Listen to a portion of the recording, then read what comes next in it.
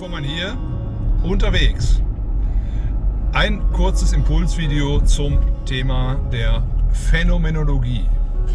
Ähm, warum ist phänomenologische Betrachtungsweise ähm, so wichtig?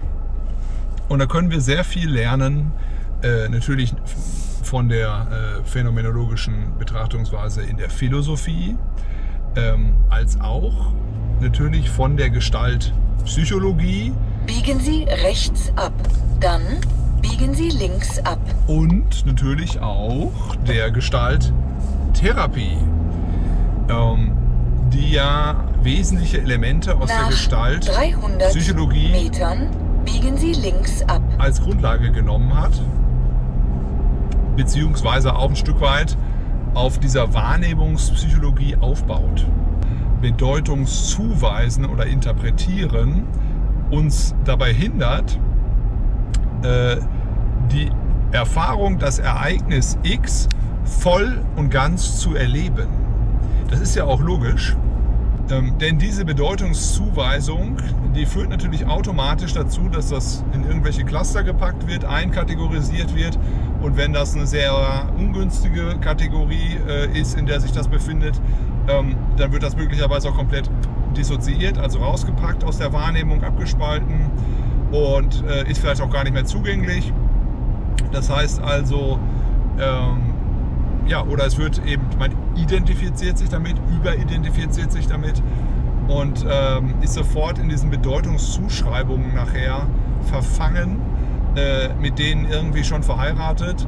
Das passiert ja in so äh, spirituell-esoterischen Gruppen auch sehr schnell, dass für diese ganzen Phänomene, die es dann so gibt, mit bestimmten Techniken, ob das jetzt Hypnose ist oder was weiß ich, äh, äh, irgendwelche Praktiken sind, äh, Trance-Erfahrungen oder auch Atemtechniken, Meditation natürlich.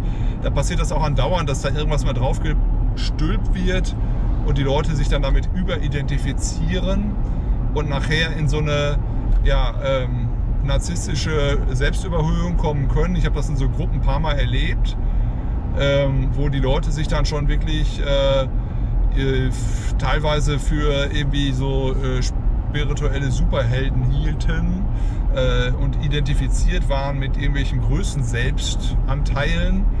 Ähm, das gibt es ja in äh, Psychiatrien dann auch immer.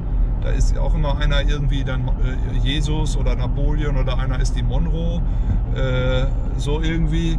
Und ähm, ja, äh, in so eine Richtung geht das man manchmal auch in solchen Gruppen.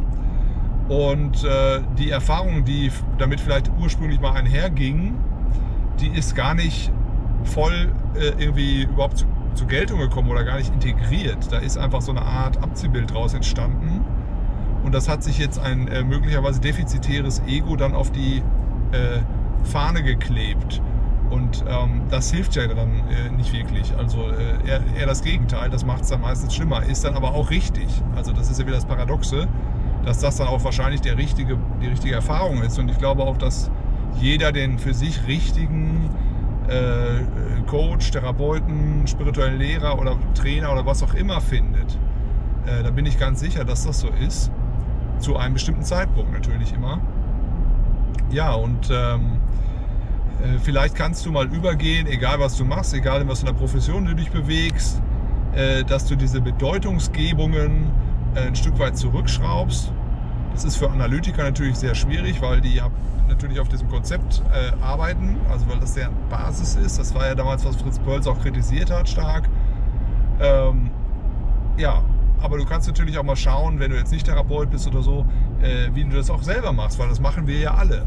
Wir können ja gar nicht nicht äh, Bedeutung geben und wir können nicht nicht interpretieren. Also das äh, geht ja geht ja im Grunde gar nicht. Ähm, aber wir könnten bewusst sein darüber, wie wir interpretieren, wie wir das machen, wann, wo und mit wem und so weiter. Und da kommen natürlich häufig auch so spezielle Strukturen bei raus, äh, die wir dann möglicherweise ähm, ja, bewusst äh, mal äh, erleben können. Und da wäre auch wieder, wäre das auch wieder ganz spannend, das wirklich ganz bewusst zu machen, um es dann voll erleben zu können.